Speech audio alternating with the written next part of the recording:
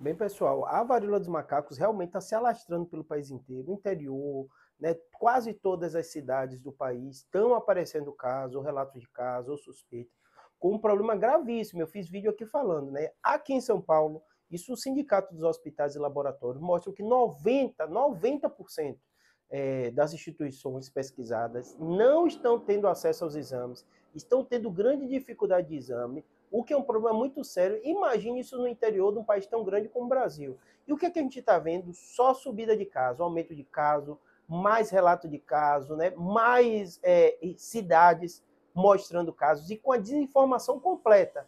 Não tem vacina, não tem forma de se, de se fazer o exame em muitos casos, né? muita gente com suspeita sem ter o diagnóstico, né? Pouquíssimas informações governamentais sobre o tema, né? e realmente isso vai ter um impacto muito grande. Né? Em saúde não tem jeito. Quanto mais informação você tem, menos acesso ao exame, mais problema a gente vai, a gente vai ter. Isso não é algo que dá para esconder, porque isso vai vir à tona, né? Diferente da Covid, realmente não tem mostrado muitos casos de morte, né? Não tem mostrado muitos casos de internação, mas mesmo assim, 10% chegam a precisar internado por dor.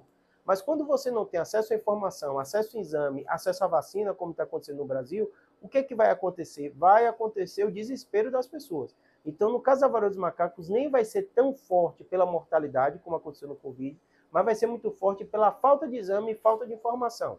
E falta de vacina também. Então, a gente vai viver sim problemas, e eu acho que problemas vão ser sérios, problema que vai passar a imprensa, vai passar isso, não com muita morte, mas vão gerar problemas de saúde pública no país.